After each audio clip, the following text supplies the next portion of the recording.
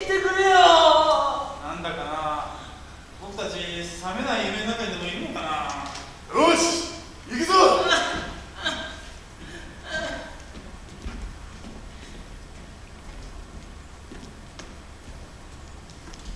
ったねだねまさかなまさかね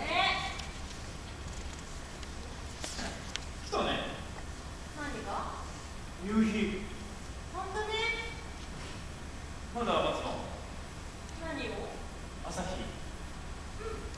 そうね行こうかねえねえ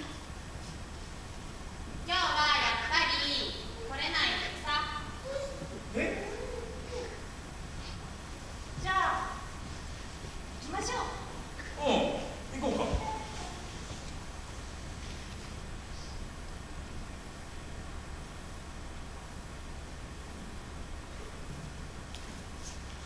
カットえー、一幕終了ですはいお疲れ様でしたこれドリドリですねすごいですねこれバクバトークこれからこれはすごいですね始めますかこれね、あのー今ね、はいあの最低ラインと思ってたところ10分押ししてる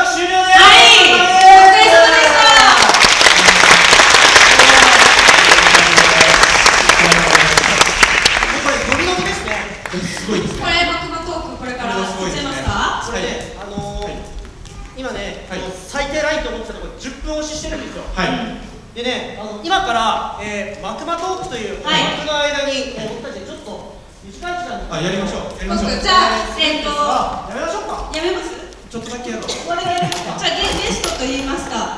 えっとディレクターの？ドッキリドッキリトークゲスト。はい。えっ、とディレクターの小倉さん。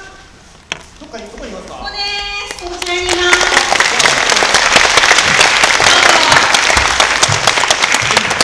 あとですね、もう一人、はい。あのー僕らの部監舞台監督をやってもらってる尾崎さんに出てもらおうかなと思うんですけど、あ大丈夫ですか時間的には大丈夫じゃないという感はいじですね、じゃあ、武漢の方なので、武漢さんからの時間がないので大丈夫じゃないという。ことで、はいサクッと。本気のやつだね。はい、お疲れ様です。お疲れ様です。えー、と今回あのこの、えー演舞台を企画を僕たちと一緒にした小倉さんです。さんにお願いします。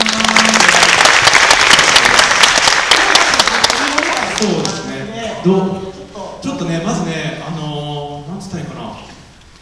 ぜ僕もあのこういうなのをすごく理解して立場としていてるんだけどなんか自分がどっちの立場にいてるかもよくわからなくなってきて永田君も結構あのー、戸惑ってるよね。どうですか？あの小倉さんいてて。いてて。なんかあのこれどっちで見てるんですか？あ私あの客席の方に。いあ。はい。あ客席？エキストラ？エキストラではい。ちょっとその感想を聞かせてもらいたいなと思うんですけどなんかそう、後ろ姿でやってる役者さんとか、どういうふうに見えてるかなっていうのをちょっと聞いていきたい。えっとまあ映像があるのであのなんとなくどういうふうに進んでるのかなというのは感じれるんですけど、なんか背中の哀愁を見てるって感じです。the concept of the show is has been quite tricky for both ends, for audience and for the performers, and probably including the guests. えっとその担当してる尾崎さんとかはどういう感じで見てるかをちょっと聞いておきたいんですけどちょっと待って What do you see as from the technical aspect? 横から見てて全然何が try 分かってなくて申し訳ないです。そこに尾尾崎さんがいます舞台監督ここにいます。Technical director. ちょっと一個だけ僕たちがやりたい少しだけなんかスピーチ的に、はい。あのお話してみると、There's one thing we've been wanting to do or try out. 短めに。まあ、今回の作品ってあの「炎を待ちながら」っていうベケットの映画作品を 浅くあのあのちょっと親しみにしてあの序曲の書かれてるんですけど「あの炎を待ちながら」ってこう来ない神様的なこう取材の人をずっと待ってる待ち時間が取材になってくる周りの余計な出来事っていうのがあの本題になってくるっていうのが、面白いなと思うんですけど。Been wanting to try